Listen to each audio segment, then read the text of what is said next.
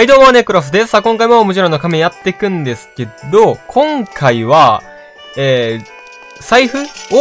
えっ、と、いきなり巨人の財布までゲットするバグワードを紹介しようかなと。えっ、と、このゲームには、まあ、初期の財布、で、次大人の財布、で、最後に巨人の財布、それぞれ99ルピー、200ルピー、500ルピーまで貯めることができて、それぞれの入手方法は、ここにおる銀行屋さんにまず200ルピー預ける。200ルピー預けると、200ルピー入ることができる大人の財布をゲットすることができて、その後に5000ルピー。5000ルピーを預けると、500ルピーが入る、えー、巨人の財布をもらうことができるって感じなんですけど、5000ルピーを預けるっていうのがめちゃめちゃめんどくて、まあ、ムジュラの仮面っていうのはドドンゴ狩りって言って、タルミナ平原北にいる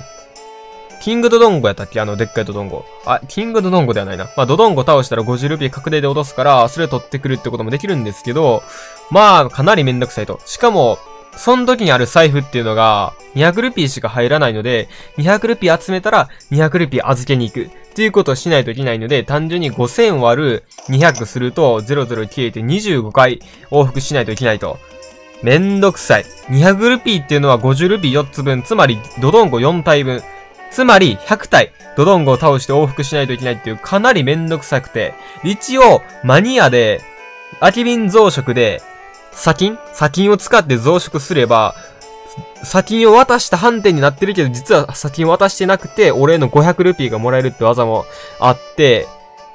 それを使うと、まあ、500ルピーもらえるけど、実際財布に入るのは200ルピーやから、まあ、300ルピーとかにポイってやって、まあ、その、何回もクロックタウン西とクロックタウン北を往復しながら、空き瓶増殖で、砂金を増やすってこともできるんですけど、それ有用値フレームの技を全部で25回しないといけなくて、どっちにしろ時間がかかるということなんで、バグ技使って一気にゲットしましょうということで、で、まあその巨人の財布の不正入手の、まあ条件としては、この、ポストハット、こいつを持っていること、と、こいつを使ってハートのかけらをゲットしていないこと。このポストハットをセットした、セットっていうか被った状態で、ここの、このなんか、ポストのところに話しかけるとハートのかけるゲットできるけど、それをまだゲットしていないこと。そして、えっ、ー、と、大人の財布を持っていなくて、今99ルピーしか貯めれない状態。つまり初期の財布の状態になっていること。で、すでに何ルピーか預けておいて、あとな、あと、特定のルピーやったら200ルピーになって大人の財布ゲットできるまでルピーを預けていること。で、今、えっ、ー、と、198ルピー銀行にあるんで、手元にある3ルピーを預ければ200ルピーになって大人の財布ゲットできるんで、準備万端と。あとフックショット。あとフックショットが必須。というわけでやっていきましょう。まずは、ポストハットを被った状態にした状態で、ここ、崖つかまりするときに、これジャンプしてるでしょ。ある程度の高さがあるとジャンプするんよね。ここやったら、まあ、ここでもジャンプしてるけど、こんな感じでこうジャンプするんですけど、そのジャンプしてる間に、えっ、ー、と、仮面のボタン。今回ゾーラでやるんですけど、この仮面のボタン。空中乗る間に仮面のボタンを押して、L と R を構え、構えるってか、L と R を押す。すると、こんな感じに、なんか、真上から、視点が真上からになります。この状態で R ボタンを離すと、変身するんですけど、これ一応マスクストレージって言われていて、そのマスクで変身するのを一旦ストレージする。つまり保存するってことだよね。それがマスクストレージで。で、それを利用して、えっ、と、ブランク A かダウン A かなんか忘れたけど、A ボタンが今、A ボタンしまうってなってるんですけど、今ちょっとしまったけど、その A ボタンを、えっ、ー、と、降りるっていう状態。まあ、英語版やったらダウンってなるんですけど、その状態にするっていう感じ。で、ポストハット被って、つも通りこうやって発動さして、そしたら L と R を押したまんま、お面のボタンタッチして、今押した、今回ゾーラの仮面を押したから、ゾーラの仮面を外す。外して、戻る。すると変身が、キャンセルされる状態になります。で、この状態でちょっと今カメラワークが結構バグってるんで、やりにくいんですけど、A ボタンが降りるってなってたら正解。これが多分ダウン A かブランク A がなんか名前あったんですけど、その状態になっていると。で、この状態だと、アイテムが使えなくなるよね。ほら、押してるけどこれ反応しない状態になってるんで、先にこのポストハットを被っておく必要があります。この状態で、こいつに話しかける。で、今198ルピー溜まってるから預けるで、えー、3ルピー預けて201ルピー。で、あんちゃんそうしないけど、これ受け取ってやしかし何ももらえない。これが、ブランク A かダウン A かなんかのその爆技の影響で、えー、大人の財布ゲットできるのが一旦、ストレージされてます。保存された状態。この状態で、ポストハット被ってるんで、ちょ、見にくい。えーと、このポストに話しかけると、これも、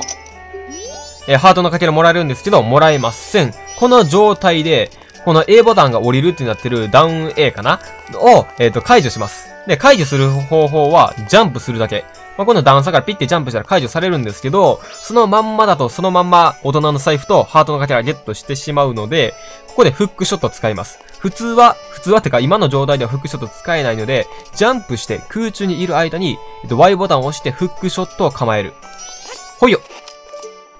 するとまあこんな感じにフックショットの画面になって、フックショット打って壁に当てる。R ボタンを押す。すると、大人の財布を手に入れた大人用だからルピーがたくさん入るとか言いながら、くるくる回っているのはハートのかけら。で、もう一回 A ボタンを押すと、なんと巨人の財布をゲットできる。これをすることによって、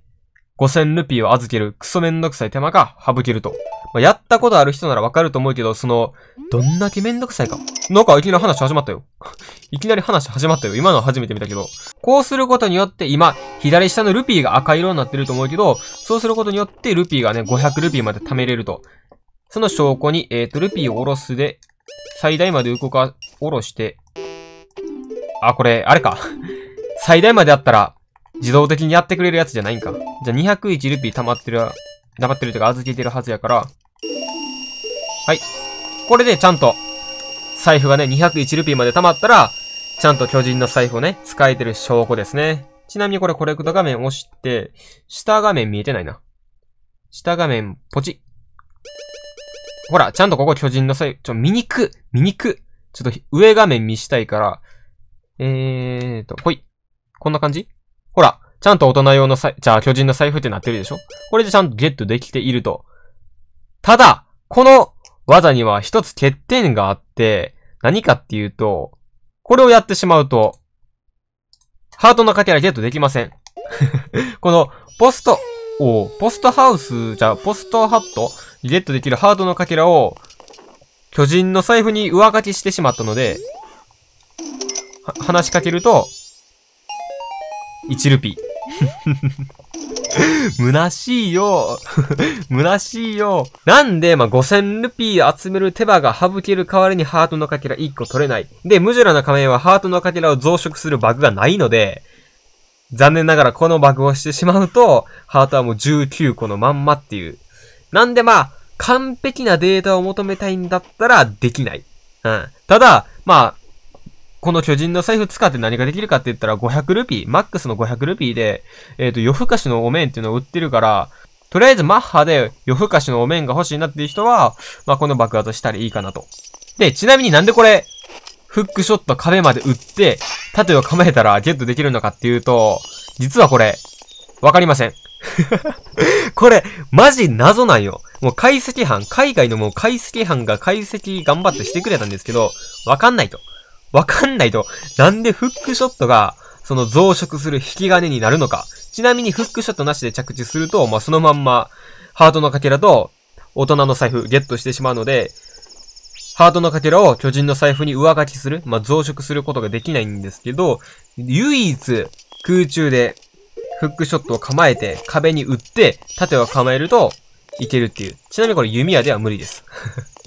これがなんでかわかんない。けどまあ、なってまうんやからしゃあない。なってまうんやからしゃあないわ。で、まあ、ポストハットっていうのは、これ、今装備してるポストハットっていうのは結構ゲットするのめんどくさくて、あの、カーフェイのイベントを最後までやらなくて、やらないといけなくて、で最後までやっても、母への、母への速達やったっけ？あれを、あれを、えっ、ー、と、お母さんに直接渡すか、ポストマンに渡すかで分岐するんよ、もらえるアイテムが。で、ポストマンに渡すと、このポストハットをゲットできて、えー、直接お母さんに渡すと、空き瓶まあ、あの、MP が減らなくなる最強の薬が入った空き瓶。薬じゃないけど、牛乳が入った空き瓶がもらえて、なんでミスって、そのお母さんに直接渡してしまったらもう、もう一回最初の朝に戻っってやり直さないといけないとなるんで、結構このポストハットをゲットするのがめんどくさいし、まあ、フックショットはすぐ手に入るとはいえ。なんでまあ正直言ったらネタかな？うん、ネタかな？てか、ハートのかけら1個足りなくなるって普通に致命的なバグになってしまうので、やりたい人はやってどうぞって感じ。で、ちなみに RTA 的に見たら、これ使えません、RTA では。RTA の、まあ、ルールっていうのがあって、まあ、スピードラン .com に載ってるんですけど、えっと、まあ、ゲットするアイテムっていうのは、ちゃんとした正規の方法でゲットして、それでようやくカウントされるっていう感じなんよね。簡単なところで言えば、時のオカリナのメダルとか精霊石をリバースボトルアドベンチャーで不正で入手するのは禁止。あれはちゃんと正規の方法で入手していないからダメってなってて、そんな感じで、この巨人の財布っていうのも、正規の方法ではゲットしていないので、これはカウントされません。なんで 100%RTA、とかでは使用されません。しかし、えー、ムジラの仮面には、オールマスクっていう、オールマスク図っていう、えー、まあ、カテゴリーもあって、すべての仮面、鬼神の仮面までね、鬼神の仮面までのすべての仮面とお面を集めるっていう RTA もあって、その時には、夜更かしのお面を買うために巨人の財布必要になるんですけど、その時にこのバグ使って入手します。オールマスクズのクリアの基準としては、すべてのお面をゲットした状態でムジュラの魔人を倒すっていう判定になってるんで、別に巨人の財布は別にいらないと。結局お面があればいいって感じなんでね。まあ、RTA で使えるかって言われたら、100%では使えないけど、オールマスクズとかでは使えるよっていう。 All Masks しか使えないけどね、逆に。 any percent とか All Dungeons とかでは使えないから。いや、 All Dungeons ないわ。 Any percent が All Dungeons になってるから。まあそんな話は置いといて、今回はこの辺にしたいと思います。というわけで巨人の財布を増殖できるバグの紹介でした。バイバイ。